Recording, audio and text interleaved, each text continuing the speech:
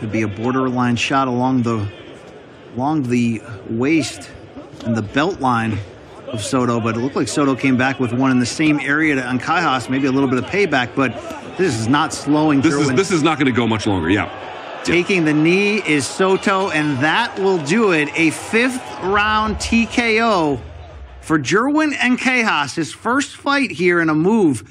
This was up to 122 pounds. The plan, as we have talked about, though, is a reinvention here at 118 following consecutive defeats to Fernando Martinez and the loss of his super flyweight title. Luke, hard to fully gauge where he's at, but we already know where he's at world class, and he showed nothing short of that tonight. Yeah, listen, this doesn't exactly tell you what the upper bound limit of Ancajas is, but it does sort of show you that he was able to. I mean, he was clearly the superior fighter.